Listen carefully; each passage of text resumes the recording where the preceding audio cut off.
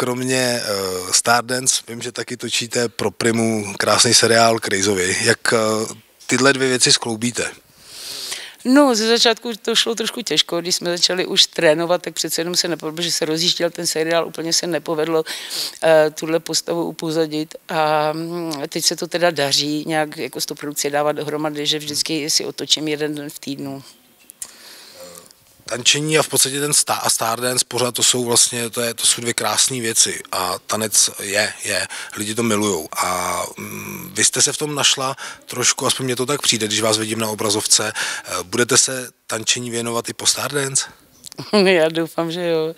Já jsem teda jako pohyb měla ráda vždycky, když poslední dobou jsem proto nedělala vůbec nic, ale eh, tanec jako takový mě vždycky bavilo se minimálně na něj dívat, jo. tak teď doufám, že ho budu provozovat, protože je to strašně hezká věc.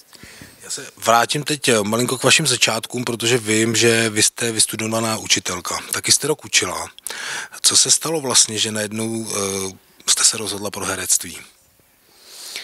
Eh, no, mě to, já jsem měla dvě takové jako trošku lásky v dětství, pokukovala jsem po divadle, hrála jsem amatérské divadlo a zároveň jsem byla strašně ráda s malýma dětma. Já jsem teda vystudovala střední pedagogickou, to znamená učitelka mateřské školy a to dilema bylo veliký. No. Říkala jsem si až v momentě, kdy jsem vlastně nastoupila, rok jsem učila, takže kdybych to neskusila vůbec se na tu damu přihlásit, že by mi to mohlo být někdy líto a a vlastně pak jsem časem zjistila, že vlastně tu touhu být s malýma dětma jsem si ukojila na svých vlastních, takže jsem se asi rozhodla správně, to povolání mám hrozně ráda. Eh, možná pro diváka, který vás sleduje nejenom ve filmu, ale i v tom seriálu, tak eh, je, je velký rozdíl hrát v seriál a hrát film. Je v tom rozdíl? No minimálně v, jako v tom způsobu té práce, že jo. U filmu je známé, že se hodně čeká, že se dělají strašně malý úseky vlastně z toho scénáře, kdežto seriál vzniká daleko dynamičtější, jako je rychlejší samozřejmě a zase na druhou stranu tam není příliš čas jako hledat vysloveně tu roli, musí to jako, musí člověk obsadit, takže to, že to sedne. Ale myslím, že nejvíc jako je to o té rychlosti, je to hlavně nesrovnatelný žánr. Jsou to dvě disciplíny, řekněme, která z nich vám je bližší?